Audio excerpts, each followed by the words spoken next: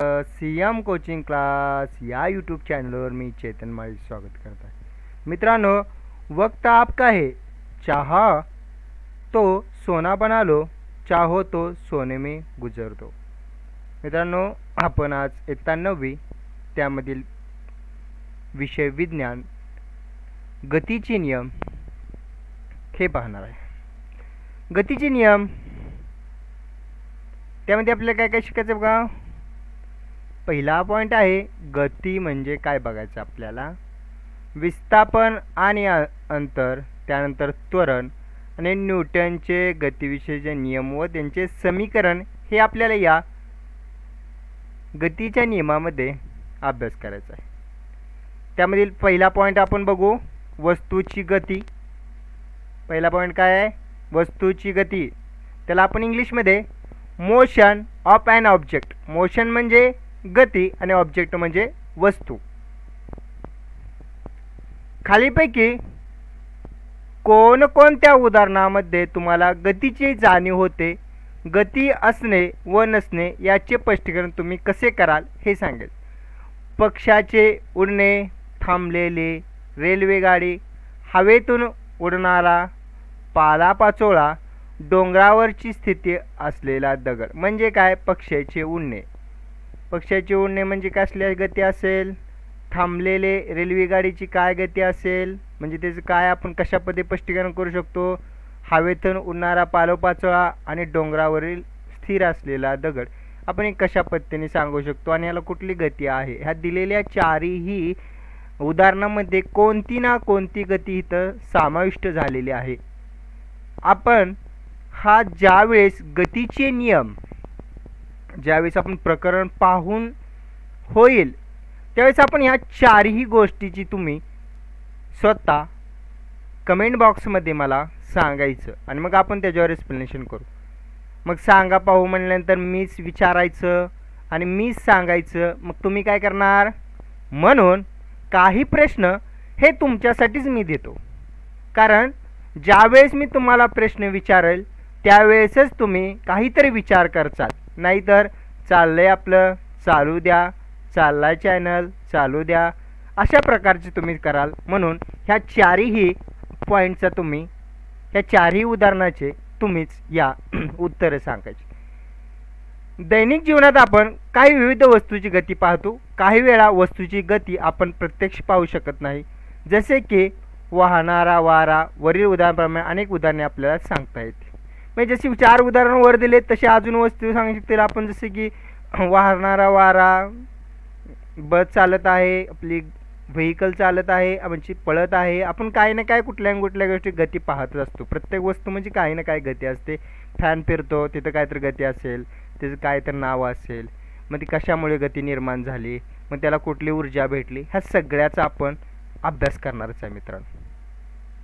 मित्रांनो ह्या चारीही उदाहरणांचे मी स्वतः पुढील लेक्चरमध्ये या चारही जे तुम्हाला उदाहरणं विचारले त्याची उत्तरं स्पष्टीकरण मीच देणार पण तरीही त्यापूर्वी तुम्ही पण काहीतरी प्रयत्न करा. बघा विचार करा म्हणून सांगितले ठीक आहे? व बसमधून तुम्ही प्रवास करीत आहात. ठीक आहे? आपण सगळ्यांनी काय करू? बसमध्ये प्रवास करत आहे असं ठरवू. तुमच्या शेजारी बस बसलेली व्यक्ती गतिमान आह. म्हणजे तुमच्या शेजारी बसले व्यक्ती गतिमान आहेत का? बसमधून तुम्ही प्रवास करीत आहात. मग तुम्ही प्रवास करता म्हणजे शेजारी बसली व- व्यक्तीसुद्धा तुमच्याबरोबर प्रवास करत असेल मग ती गतिमान आहे का नाही? ही गोष्ट आपले विचार करावा लागते. एखादी वस्तू गतिमान आहे की नाही हे निश्चय करण्यास तुम्हाला कोणत्या बाबी विचार करायला लागेल? गती ही सापेक्ष कल्पना आहे. तुम्ही मागील येथे शिकला. जर जर त्या संदर्भात आपण जागा नसेल तर ती स्थिर असे म्हणजे एखादी वस्तू एका जागेवरून दुसऱ्या जागेत जात नसेल किंवा त्याच जागेत थांबली असेल तर आपण स्थिर असे म्हटलो. याचा विचार करा तुम्ही सगळ्यांनी तुम्हाला काय वाटतं ह्याच्याबद्दल त्याबद्दल थोडा विचार करा आणि मला कमेंट बॉक्समध्ये सांगत चला. कारण ज्यावेळेस तुम्ही विचार करचाल त्यावेळेस आपलं ब्रेन काही ना काही उत्तर आपल्याला देऊ शकत जर आपण विचारच नाही केला तर तो पण उत्तर कशामुळे देणार? आपण त्याला प्रश्न नाही विचारला तर काय म्हणून उत्तर देणार तो? सायन्स हे शिकवतं. करा सांगा विचार करा. असेच आपल्या प्रश्न विचारले असतात. आतापर्यंत तुम्ही सगळ्या गोष्टी आठवीपर्यंत शिकलेला आहात. बऱ्यापैकी तुम्हाला काय काय गोष्टी तुम्हाला माहीत झालेल्या आहेत. म्हणून आपण थोडी आता नववीत गेल्यानंतर थोडा विचार करून आपण पुढे जाणार आहे. विस्थापन आणि अंतर. मग आपल्याला थोडं पुढे जायला लागेलच ना. मग डिस्प्लेसमेंट करायला लागेल मग डिस्टन्स पार करायला लागेल. जसं की तुम्ही पहिलीपासून आठवीपर्यंत जे एकता पहिली पहिलीतनं दुसरी दुसरीतनं तिसरी तिसरीतनं चौथीत अशी तुम्ही काय करता? आला एका वर्गातून दुसऱ्या वर्गात जर तसंच आपल्याला विस्थापन आणि अंतर ह्या दोन्हीमधील काय फरक आहे? विस्थापन कुणाला म्हणायचं आणि अंतर कुणाला म्हणायचं? हे पण आपल्याला त्या विस्थापनालाच इंग्लिशमध्ये डिस्प्लेसमेंट असं म्हणायचं आणि अंतराला डिस्टन्स असे म्हणायचं. ठीक आहे? मग आता बघू. आता अजून पुढे पुढे विचारले आपल्याला करून पाहूया. म्हणजे सायन्स आपल्याला सारखंच सांगतं करून पहा जरा विचार करा. मग आपण पण तसंच करायचं. दोऱ्याच्या साह्याने ए पासून बी पर्यंत काय करा? दोऱ्याच्या साह्याने ए पासून बी पर्यंत अंतर आकृती एक पॉईंट एकमध्ये दाखवली वेगवेगळ्या प्रकारे. मोपा दोरा घ्या ए पासून बी असं नंतर मोपा. त्याचनंतर आता पुन्हा ए पासून बीपर्यंत अंतर सरळ तुटक रेषेने दाखवलेले मो मार्ग मो मोजा. तुमच्या मते कोणत्या मार्ग मोजले अंतर योग्य आहे हे तुम्हाला करून पाहायचं आहे सगळ्यांना. तुम्हाला इथं समोर डायग्रॅम दिली इथे एक डायग्रॅम दिलेली आहे. ज्या प्रकारे दोऱ्याच्या सहाय्याने ए पासून बी अंतर मोपायचं आहे. वेगवेगळ्या प्रकारे मोपा म्हणून सांगितले मग काही जणी इथून इथं अंतर मोपाल काही जणी इथून इथवर घेईल अशा प्रकारची काही ना काही तुम्ही ॲक्टिव्हिटी करत राहा. आता पुन्हा ए पासून बी पर्यंत अंतर सरळ तुकडा रेषेत दाखवल्या आकृतीत मोचा मग हिथून हा हिथून इथं काय करा असं धरण मोपा म्हणून सांगितलं त्यांनी. त्यानंतर काय करा जरा विचार करा अजून विचार करा. काय विचार करा?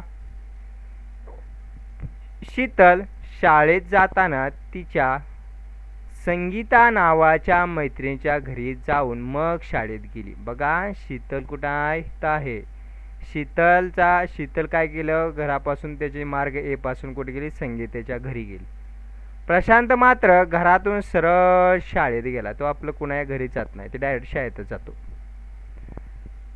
दोघे एका एकाच चालान जात असले तर शाळेत कमी वेळेत कोण पोचेल आणि का? बघा प्रशांत लवकर पोचेल का शीतल लवकर शाळेत पोचेल हे तुम्हाला विचार करून सांगायचं आहे. बघा दोघं पण शाळेत चाललेत शीतल पण घरातून शाळेत निघाले प्रशांत पण घराचं प्रशांत काय केलं आपण नीट सरळ शाळेत गेला. पण शीतलनं काय केलं? शीतलने काय केलं? पहिल्यांदा संगीतांच्या घरी गेली. संगीतांच्या घरी जाण्यासाठी तिला पाचशे मीटर अंतर पार करायला लागलं. ते पाचशे मीटर आणि संगीतांच्या घरापासून शाळा बाराशे मीटर आहे. बाराशे पाचशे किती झाले? सतराशे. किती झाले? सत एक हजार सातशे. म्हणजे दीड किलोमीटर वर दोनशे मीटर काय तर ते चालले असतील. पण प्रशांत आपला डायरेक्ट तेराशे मीटर गेला. म्हणजे त्यांच्यापेक्षा चारशे मीटर त्याला काय कमी प्रवास करायला लागला. किती प्रवास कमी करायला लागला चारशे मीटर. म्हणजे लवकर कोण पोचेल प्रशांत. आणि उशिरा कोण पोचेल शीतल. कारण शीतलने सतराशे मीटरचा अंतर पार केले आणि ह्यांनी फक्त किती केले? तेराशे मीटरचं. वरील उदाहरण प्रत्यक्ष आपल्याला चाललेले अंतर व सरळेचे अंतर यातील फरक असेल का व कोणता? मग फरक कोणला असेल? आता फरकच तुम्हाला समोरच दिसतोय. हा पाचशे मीटर ह्या सरळ इकडे गेल्या तिथून बाराशे मीटर वर गेल्या म्हणजे सतराशे मीटर. आणि घरापासून सरळ दुसरा रस्ता होता तो का झाला? तेराशे मीटरचा. म्हणजे अंतर जास्त पडलं शीतल शीतला प्रशांत तो लवकर जाऊ शकला. का? का व कोणता? असे सांगितलेले. आता ह्या एवढ्या ॲक्टिव्हिटीनंतर आपल्याला एक शिकाय भेटलं आणि भेट भेटतच आहे. अंतर आणि विस्थापन ह्यामध्ये दोघांमध्ये काय तर फरक आहे. त्यामुळं तर एवढे मोठे आपल्याला उदाहरण दिलेलं आहे त्यांनी. शीतल आणि प्रशांत हे दोघं शाळेत जाताना कशा तऱ्हेने गेले आणि कोण लवकर पोचले?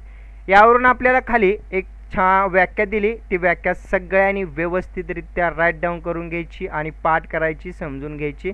ते डायग्रॅम आपण चा अंतर म्हणजे काय बघा? अंतर म्हणजे दोन बिंदूंच्या दरम्यान गतिमान असताना वस्तूने प्रत्यक्ष केलेले मार्ग मार्गक्रम होय. दोन बिंदू कोणतेही दोन बिंदू घ्या. ए बिंदू घ्या. बी बिंदू घ्या. दोन म ए आणि बी दोन बिंदू घेतले आपण जे की मगाशी आपण पाहिलं होतं. एपासून बी ए टू बी आता ए ए आणि हा बी हे दोन काय? ए आणि बी ह्या ए पॉईंटपासून बी पॉईंटपर्यंत आपल्याला काय करायचं आहे? जायचं आहे. दोन अंतर म्हणजे दोन बिंदूच्या दरम्यान गतिमान वस्तू. एपासून बीपर्यंत काय गेली? एक वस्तू गेली. ए बिंदूपासून बीपर्यंत गत्या प्रत्यक्ष मार्गक्रम होय. मग एपासून बीपर्यंत जाण्यासाठी तिला काय तर मार्गक्रम केला आणि त्या मार्गक्रम करण्यासाठी त्यांना गती घ्यायला लागली. तर विस्थापन म्हणजे गतिमानाचे आरंभ व अंतिम बिंदू सर्वात कमी अंतर होय. म्हणजे या दोघात एपासून बीपर्यंत जाण्यासाठी तर कमीत कमी अंतर म्हणजे काय असेल तुमचं विस्थापन. मग दिलेल्या दोन उदाहरण मगाशी जे उदाहरण दिलं तर प्रशांत आणि शीतल यांचं. तर बघा प्रशांतने काय केलं? विस्थापन केलं. आणि शीतलने काय केलं? अंतर कापलं. म्हणजे काय?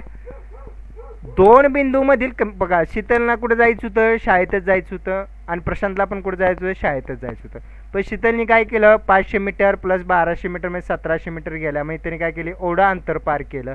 आणि प्रशांतनं काय केलं? कमीत कमी अंतरात ते काय केलं? ते बी पॉईंट गाठला. म्हणजे ए पॉ समजा ए पॉईंट हा जर घर असेल बी पॉईंट जर त्यांची शाळा असेल तर ह्या दोन्ही गोष्टी त्यांनी काय कमीत कमी अंतराला मग एवढे सोप्या पद्धती लक्षात ठेवा कमीत कमी अंतर दोन बिंदूमधील कमीत कमी अंतर म्हणजे दोन बिंदूमधील कमीत कमी अंतर दोन बिंदूमधील कमीत कमी अंतराला आपण काय म्हणणार आहे? विस्थापन म्हणजे गतिमानाचा आरंभ व अंतिम बिंदू. सर यांच्या दोघांमध्ये कमीत कमी अंतर म्हणजे तर विस्थापन. मित्रांनो मी व्यवस्थितरित्या सांगण्याचा प्रयत्न करतोय तुम्हाला.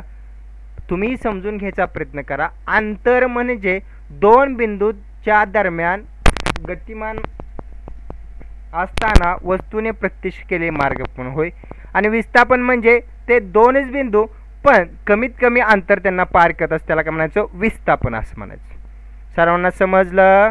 जरा डोके चालवा मग जरा. चला चालू डोके मग. चालवा तर चालवा. जरा डोके चालवा. आकृतीत एक पॉईंट दोन मध्ये दाखवल्याप्रमाणे सराली दररोज पहाटे शंभर मीटर त्रिज्या असलेल्या वर्तुळाच्या मैदानाच्या कडेला फिरते. फेरी मारत असते. तिने ए बिंदूपासून स्टार्ट केला आहे ह्या ए बिंदूपासून स्टार्ट केला आहे ह्या ए बिंदूपासून स्टार्टिंग केलं आहे त्यांनी चालू करायला. सुरुवात करून फेरी पूर्ण केल्यास तिने कापले अंतर व विस्थापन किती? आता बघा हे किती मीटरचं आहे? शंभर मीटरचं. आता जरा व्यवस्थित जरा विचार करा. आता ए पॉईंटपासून पुन्हा ए पॉईंटपर्यंत आले त्या. म्हणजे किती मीटर पार केलं? शंभर मीटर अंतर पार केलं. पण विस्थापन किती केलं हो तिने? झिरोच केलं. का? तर विस्थापन म्हणजे गतिमानते आरंभ व अंतिम बिंदू. सर्वात कमी अंतर होय. यांचे सर्वात कमी अंतर बघा. जे काय केलं त्यांनी? ए या पॉईंटपर्यंतपासून गेल्या आणि ए एस पॉईंटला हल्ल्या. म्हणजे कुठेच गेल्या का? म्हणजे काय झालं? हायाच ठिकाणी आल्या. पण अंतर त्यांनी पार करून पुन्हा त्या जागी आल्या. म्हणून अंतर झालं शंभर मीटर आणि विस्थापन म्हणजे किती आलं? झिरो. कारण ए या पॉईंटपासून पुन्हा ए एस पॉईंटवर आल्या. म्हणून विस्थापन किती आलं? झिरो आलं. त्यानंतर आकृती एक पॉईंट दोन आमध्ये दाखवल्यामुळे समजा गाडी गाडी एक गाडी पी या बिंदूपासून क्यू या ठिकाणी गेली. म्हणजे गाडी इथून इथवर गेली बा पी क्यू पर्यंत. पुन्हा पी ठिकाणीपर्यंत आली तर कापलेले अंतर आणि विस्थापन बघा. म्हणजे बघा आता लक्ष द्या. गाडी ए पासून पुन्हा पी पासून क्यू पर्यंत गेली. म्हणजे किती मीटर झाली? तीनशे साठ मीटर. आणि पुन्हा माघारी आली. किती झाली? तीन साठ तीन साठ आणि तीन साठ किती झालं? सातशे वीस. म्हणजे गाडीने अंतर किती कापलं? सातशे वीस. पण विस्थापन किती केले हो? झिरोच केले. का? का? आता काचं उत्तर तुम्हाला व्यवस्थित खाली दिले. एवढ्या उशीर जे आपण बोललो त्यावेळेस खाली एखाद्या वस्तूचे विस्थापन शून्य असेल तर त्या वस्तूचे प्रत्यक्ष कापलेले अंतर कसं? शून्य असू शकत नाही.